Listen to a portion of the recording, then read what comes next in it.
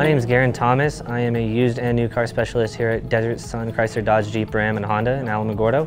Uh, what I like about Desert Sun is we always strive to put the customer first. We always strive to give the customer the best experience and educate them in ways that are efficient of buying new and used vehicles. So if I were to recommend somebody to Desert Sun, I'd recommend our service department. Uh, they're always helpful, they're always friendly, they're always there when you need them. Uh, we have our shuttle services, so if you need a ride after you drop your vehicle off, we can take you where you need to go or and pick you up.